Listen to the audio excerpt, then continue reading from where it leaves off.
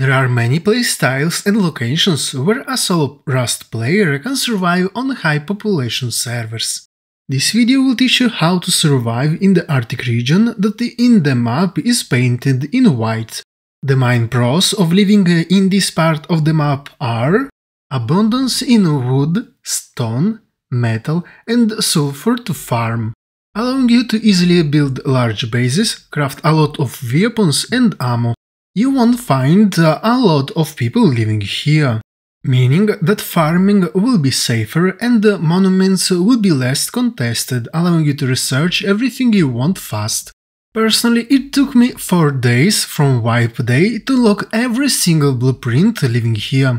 If you will be killed, often will be by the hands of a full geared clan member that don't even bother to loot you if you will go around naked. By using key locks instead of code locks on your doors uh, will tell anyone passing by that you are a solo player. Plus, if you will build a basic base with the honeycombs, uh, the players living in this region will rarely raid you. This is because many clans will live in the Arctic and risking raiding a solo isn't worth it while being surrounded by full geared groups. Speaking about the cons, we have Hard to hide when everything is white unless you buy expensive skins from the marketplace. Most powerful clans will live here because of the abundance of sulfur, so often you will die by the hands of AKs. Also, you almost always will be outgunned and outnumbered. So, you won't win many fights and will die a lot. It's rare to find wild animals and when you do, it always will be a dangerous polar bear. Therefore, it will be hard to obtain cloth and leather to craft basic gear sets. Without speaking about the animal fat needed to craft low-grade fuel to build furnaces. In this region, you also won't find any plants, meaning you won't be able to obtain cloth from hemp and food from berries and mushrooms. One of the worst thing about this region is the cold. That during the day will slowly drain your health uh, if you go around naked, while during the night it will kill you in less than 2 minutes. The cold will also prevent or slow down your passive healing in a comfortable zone in your house uh, when being fed, making it hard to be full health when leaving your base. For most of the cons there are workarounds, so stick till the end of the video to learn how to deal with them. To start, uh, once you spawn, open your map and look at the white part of it. Here you have to search for a basic monument with a recycler that can be a supermarket, mining outpost or gas station.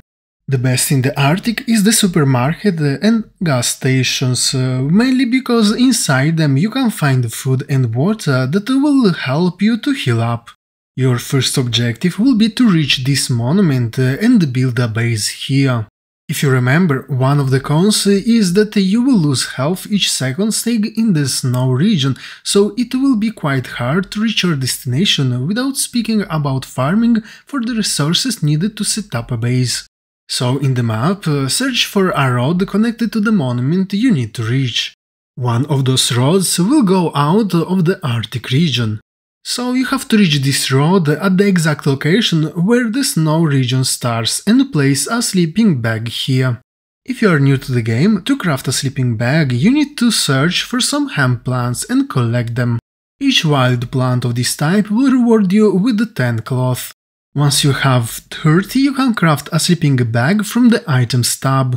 This bag will allow you to respawn outside of the snow region if you will die trying to set up your base. The best will be to place it in a closest forest, where you can find some mushrooms to max up your health before going in. Also before heading in, don't forget to collect another 30 cloth uh, for a second sleeping bag. Now follow the road toward the monument. On your way there, you will find several trash piles where you have to destroy the barrels and loot the crates. This will allow you to find some cloths to protect yourself from the cold, weapons to break the barrels faster and tools to speed up your base building process. Without speaking that often you will obtain some tarp, rope and sewing kits uh, by breaking the barrels.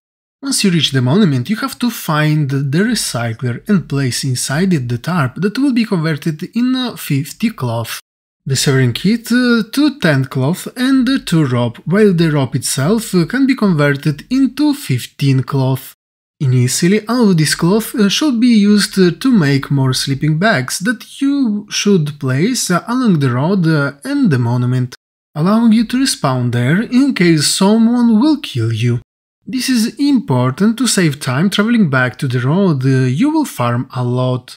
Also, it will help you to reach your corpse uh, and check if the killer took your loot or left it behind. After recycling everything, it's time to choose where to build your base, and I advise you to do so a little bit away from the monument to decrease the chances of being raided. The best spot will be to head toward the closest hill and find a spot where you can easily farm uh, for some wood and stone. Now it's time to start farming wood and stone to build your first base. Personally, I advise you to start with a temporary one by one where you can store your tools and resources uh, a little bit safer than in some stashes. After building the temporary base, place inside it another sleeping bag and start roaming in search uh, of the best spot to build your mine base. If you need a guide for a good base design, check the base building playlist linked in the description of this video. Anyway, once you find a good building spot, mark it in the map and go back uh, to your one by one. Farm some wood and stone to craft uh, some spare tools in case someone will kill you. Then farm the rest of the resources for your base. Personally, I advise you to deposit the resources in the temporary base each 2 stone nodes and 3 trees. This is because farming makes a lot of noise. The fact that your body makes a good contrast uh, with the snow, anyone will easily spot you even at a large distance. And almost any player with a weapon will kill a farmer to steal his resources. Anyway, once you have enough resources, a good idea will be to visit Agendraud to farm uh, for some components that can be recycled uh, in order to obtain some metal fragments and you will need uh, 300 of them in order to craft two sheet metal doors. One for the main entrance and the second for the airlock.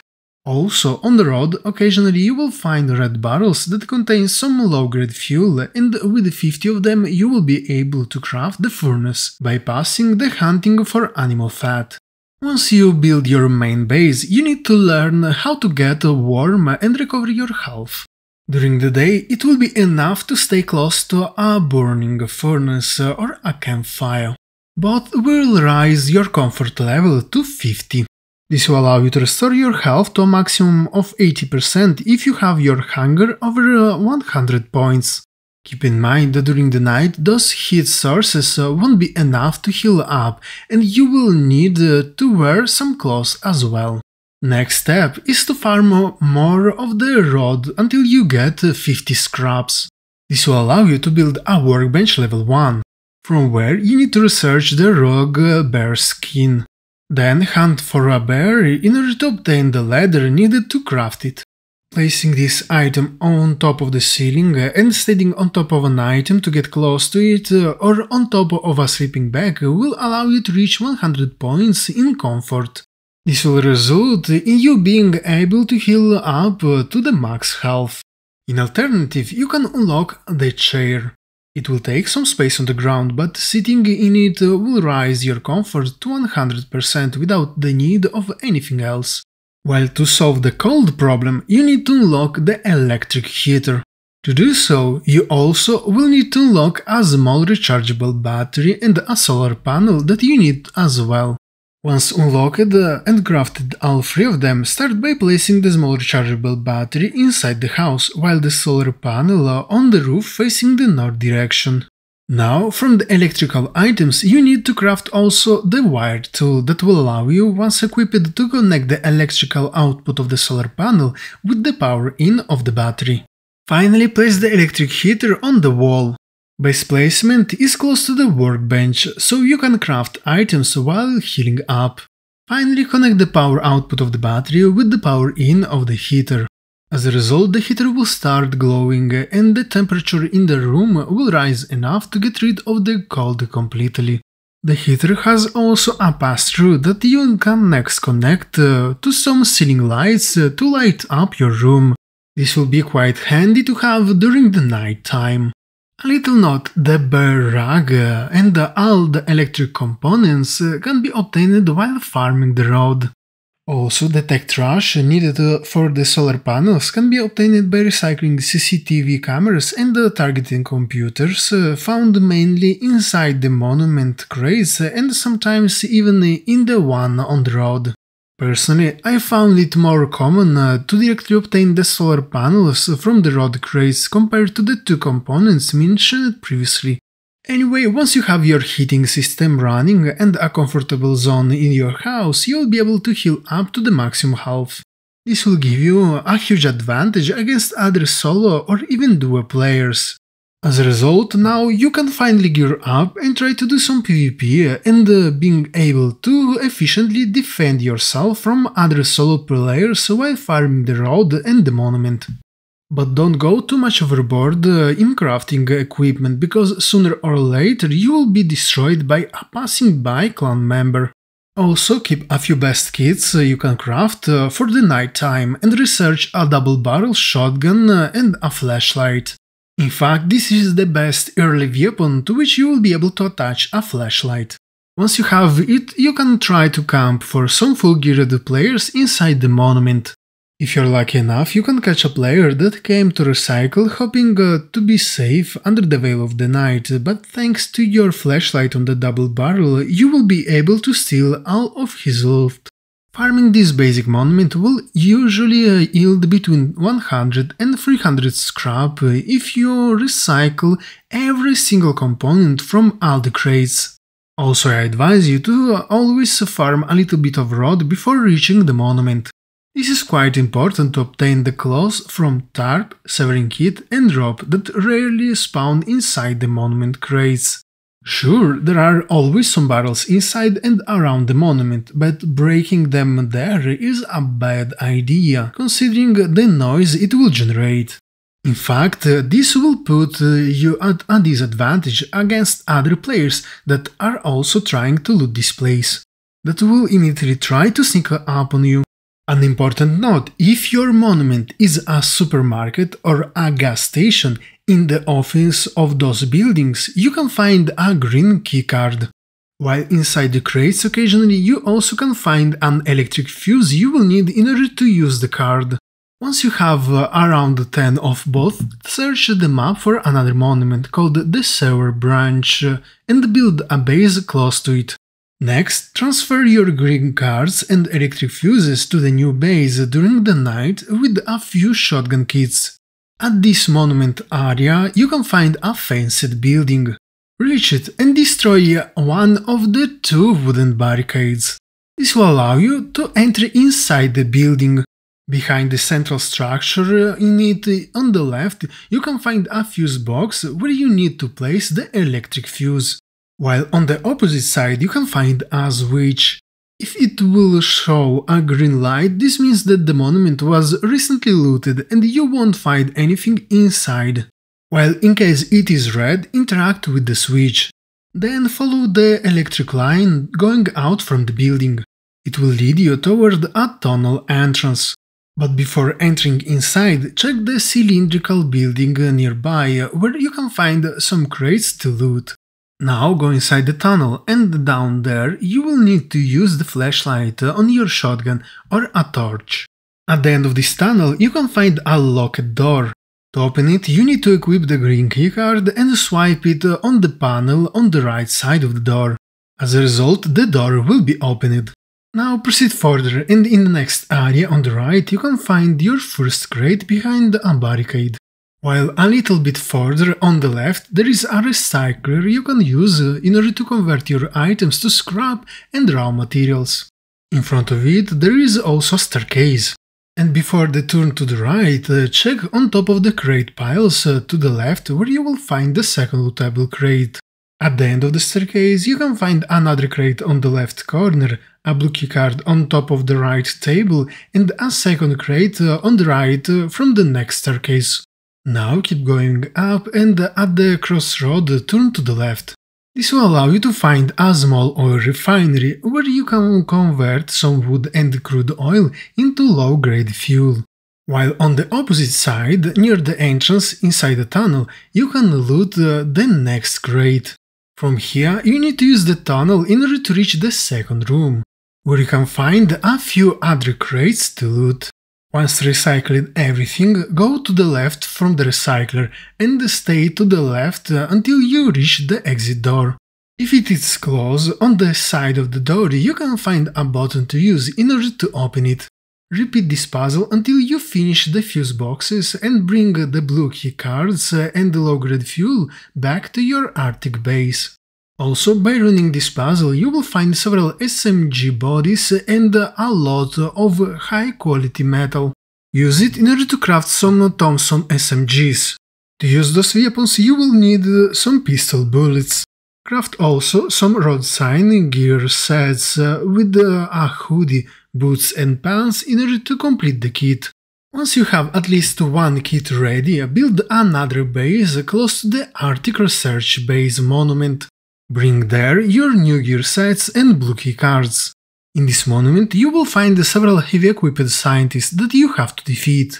They will drop you a decent amount of ammo and meds uh, to compensate the amount of resources needed to defeat them. Once cleared the area, check inside the buildings uh, for piles of fuel, food, ammo and components that you will be able to loot. Also, you can find several yellow crates containing good items as well. If you're ready to leave, uh, reach the two red main structures. On the frontal side of them you will find a blue panel where you have to swipe a blue key card. Inside both you will find some barrels to break and crates to loot while only in one of them you can find in the left corner a red key card and a snowmobile. You can use it in order to escape this area fast and safely. Finally, when you get a few red key cards, uh, you should build a new base close to the military tunnel. Keep in mind that before going inside this monument you will need uh, all three key card types, a lot of meds and ammo.